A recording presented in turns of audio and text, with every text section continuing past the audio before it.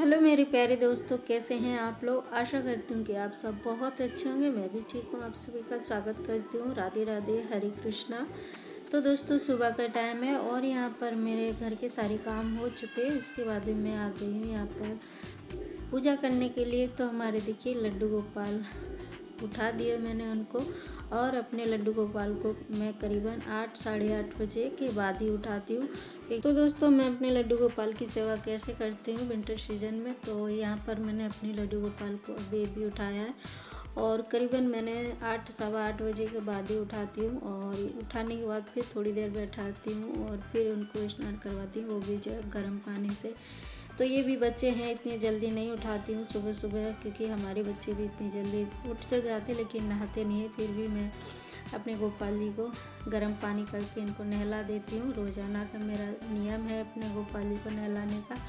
ये हमारे जो है ठाकुर जी हैं तो इन्हें सबसे पहले मैं नहा कर के आती हूँ, फिर इनकी जो है सेवा करती हूँ। और जैसे भी मेरे हमसे सेवा लेना चाहते वैसे ये सेवा लेते हैं हम फैमिली कैसे हैं आप सभी लोग? आशा करती हूँ कि आप सब बहुत अच्छे होंगे। मैं भी ठीक हूँ आप सभी का फिर से स्वागत है मेरे न्यू ब्लॉग में।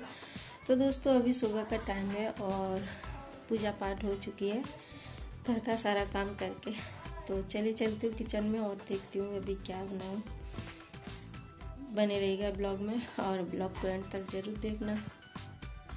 तो विंटर सीज़न की मेरी जय सेवा ऐसे ही होती है गोपाल जी की जो भी उनसे जैसी भी हो पाती है गृहस्थ जीवन में वैसे गोपाल जी की सेवा कर पाती हैं और जैसी भी वो लेना चाहते वैसे जो वो लेते हैं रोज़ाना। तो दे, देखिए दोस्तों मैं जो है सुबह अपने गोपाल जी की पूजा पाठ करके और आ गई हूँ किचन में और यहाँ आने के बाद मैंने सोचा चलिए बना लेती हूँ खाना पीना। तो मैं खाने में बना रही हूँ अभी। देखिए मैंने जो है शाम को थोड़े से आलू बच गए थे उबले हुए तो मैंने रख दिए थे, मैंने कहा, सुबह कुछ बना देंगे।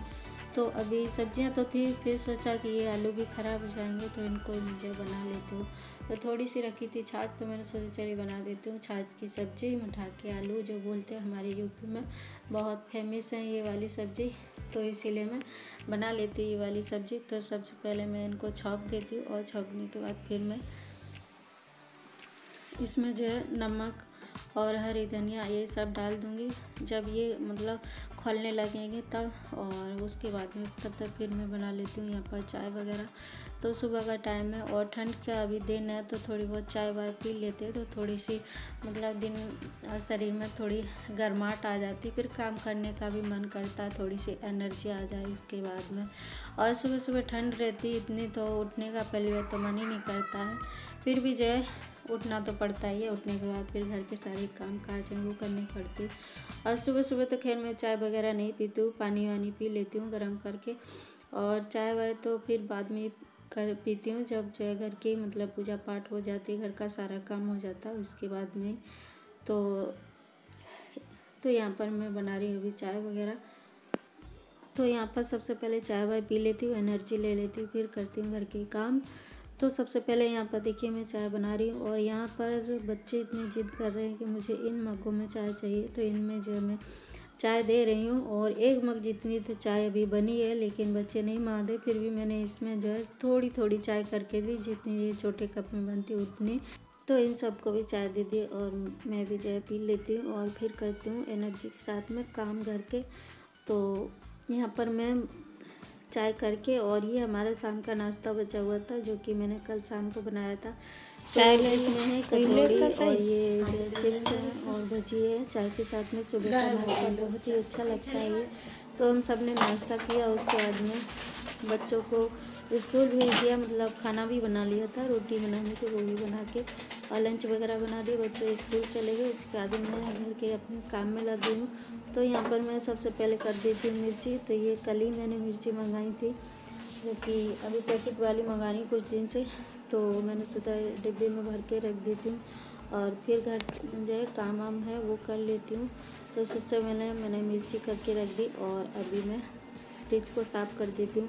फ्रिज में पता नहीं हमारी जो है फ्रिज में थोड़ी सी जो है जो मच्छर जैसे होते हैं वो अंदर घुस जाते तो पता नहीं इतना गंदा लगता है।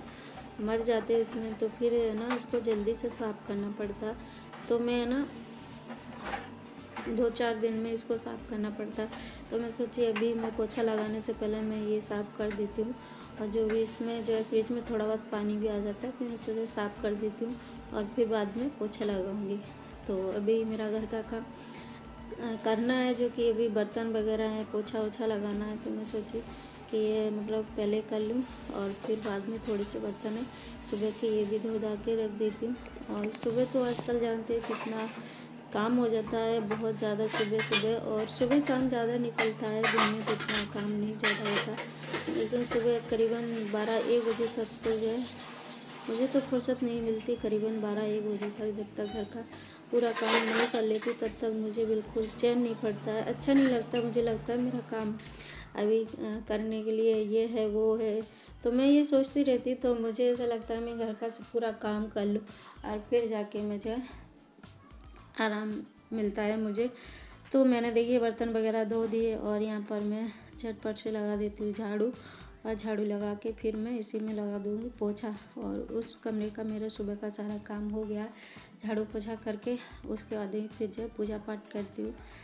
तो सबसे पहले यहाँ पर मैं झाड़ू वाड़ू निकाल देती हूँ।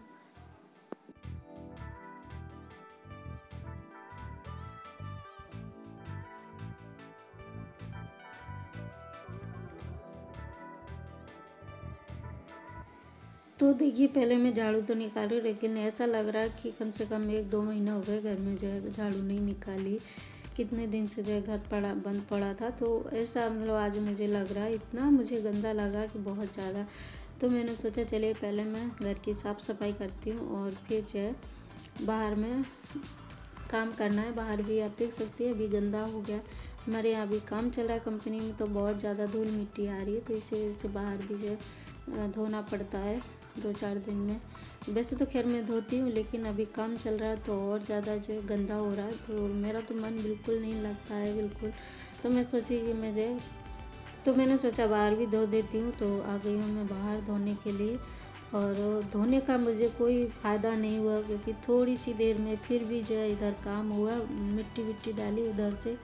तो फिर जैसा था वैसा उससे ज़्यादा हो गया। पहले तो इतना गंदा नहीं था, लेकिन मैंने जो है धो करके थोड़ी देर के लिए मैं बैठी, उसके बाद में फिर से मिट्टी विट्टी डाली और फिर उससे ज़्यादा हो गया। तो मुझे लगा कि मेरा तो जो है धोने का कोई मतलब ही नहीं हुआ, क्योंकि इतना ज़्यादा फिर से गंदा हो गया। फिर मैंने थोड़ी देर में जब ये सूख गया, फिर से मैंने दोबारा जो है झाड़ू निकाली।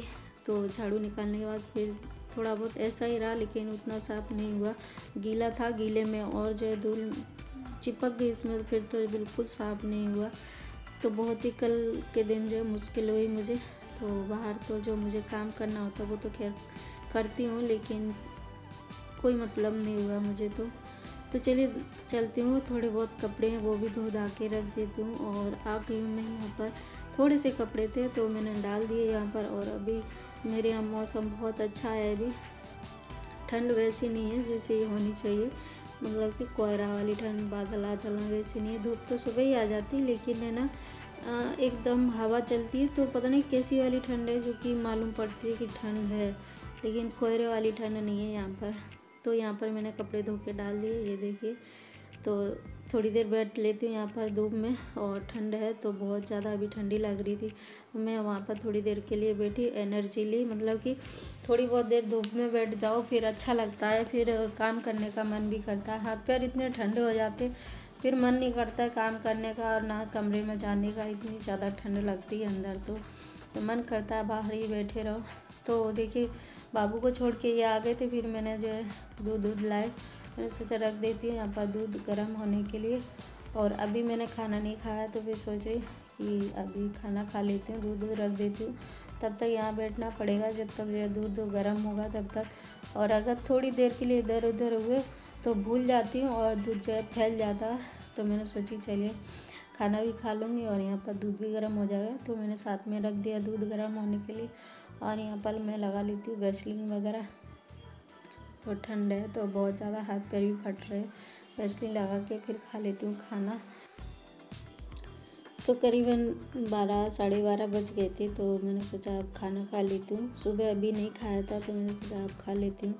तो वैसलीन वगैरह लगा ली और यहाँ पर मैं थोड़ी सी जो है मेरी शाम की सब्ज़ी रखी है तो मैं सोची इसको गर्म कर लेती हूँ, तभी पे अच्छे से इसको तल लेती हूँ दोबारा। और बिना तेल डाल के ऐसे तल लिया। और अच्छे से इसको तल के फिर मैं जो खाना खा लूँगी इसी से।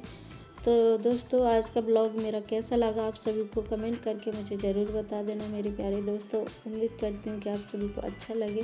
मैं दोस्तों बहुत मेहनत करती हूँ और आप सभी का मैं सपोर्ट चाहती हूँ। प्लीज़ मुझे सपोर्ट करना और मेरे ब्लॉग को एंड तक ज़रूर देखा करें मेरे दोस्तों। तो चलिए दोस्तों, यहाँ पर देखिए मेरा खाना जो है गर्म हो गया है। सब्ज़ी मेरी गर्म होनी थी, वो भी जो गर्म कर ली मैंने। और उसके बाद खाना पीना खा लेती हूँ। और दोस्तों, फिर मिलती हूँ आपसे एक नए ब्लॉग में। तब तक अपना और अपनों का ख्याल रखना दोस्तों। राधे राधे, हरे कृष्णा।